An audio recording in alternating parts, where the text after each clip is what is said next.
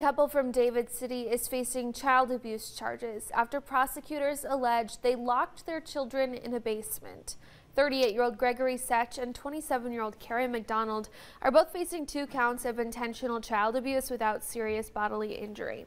Prosecutors say Setch and McDonald would regularly lock their children to a high chair in the basement, shut the lights off, and lock the door behind them as a form of punishment. The couple was initially arrested in January and later released.